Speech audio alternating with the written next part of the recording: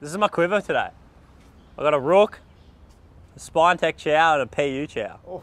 I rode the rook yesterday, but then even though I was riding it, I was like, I reckon I should ride a chow. We go on the chow. I think so. I'll match up. I'll go with chow. Yeah. Chow versus chow. Chow Let's load versus this thing chow. up. Let's load this thing That's up. your favourite quiver, isn't it? Let's do it. Let's do it. Oh.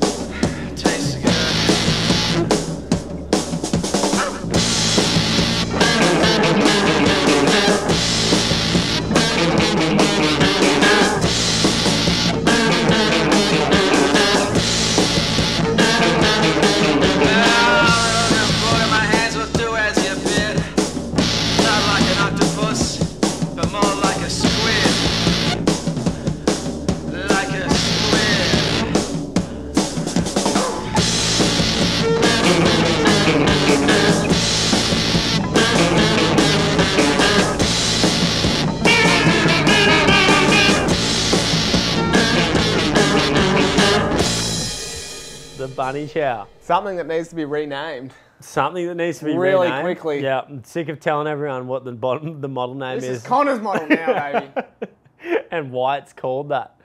So yeah, you just don't understand how many people are like, why is it called that? And I'm like, have to explain it because it's not mine.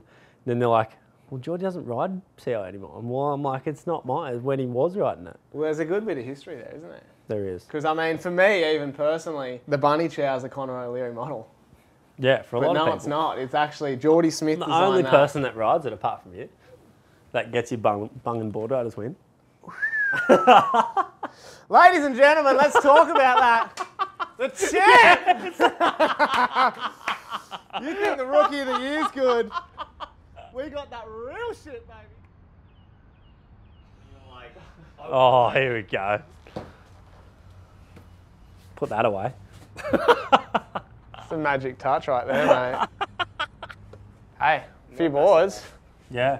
We got the Mod Pod, Fish Beard, couple of Steffs, Spinies, all chows. The board I've probably ride, been riding the most is the mid, though. Mate, the mid has been. Wow. Well, we saw that roundhouse uh, off Hey, I'm still saying this to people that it's the best roundhouse cutback I've ever done in my life.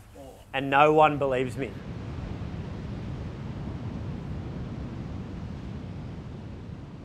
That's about it. Like, pretty much just rooks, chows, and a couple of fun boards. That's your go-to. That's pretty much my go-to. But I mean, nothing, will- nothing will replace a chow, to be honest, in small waves, for me. It's got me through a lot of heats. It's uh, it's had me a lot of really fun surfs. I don't know, like, it's one of those models for me personally that I can ride every day and enjoy every surf on it. And I feel like that's the perfect surfboard if you were thinking of a surfboard that will go in anything. Yeah, that's the board that's, that's for me to be honest, it wasn't love at first sight. Mm. But the chow, the very first board I had, the first I've had on it, I was like, it's not that good. It's okay. Turned out to be like a board that I rode the whole year and didn't even ride it in free surfs, just took it to events and rode it the day before, caught three waves. By the end of it, it was like the most brown, gross looking thing, but it was still kicking. I was still making heat on it. So yeah.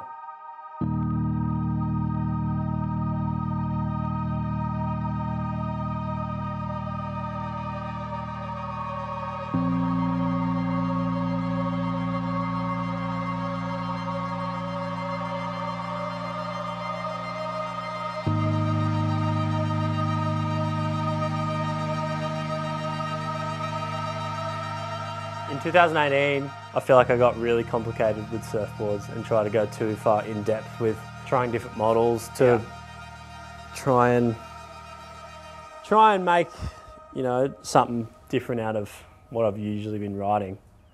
And then that didn't work out at all. You guys are getting so many boards at one time.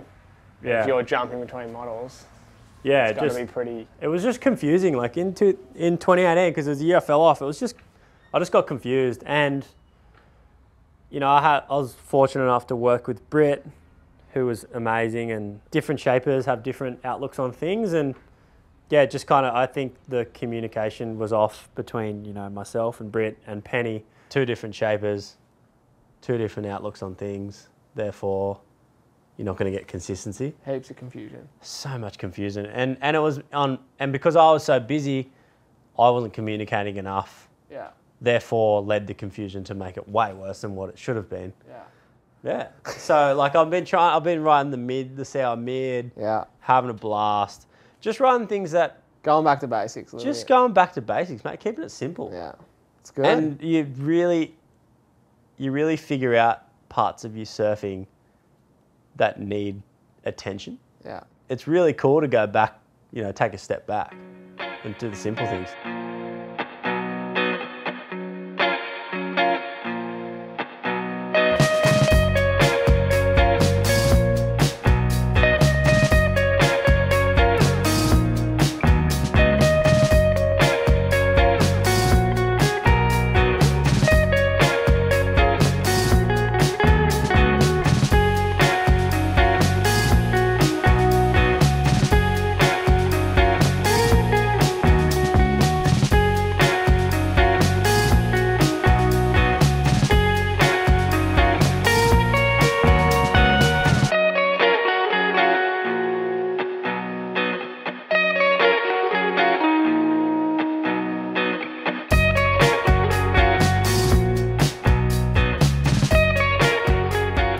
We're still unsure of if the tour's going to be on or not.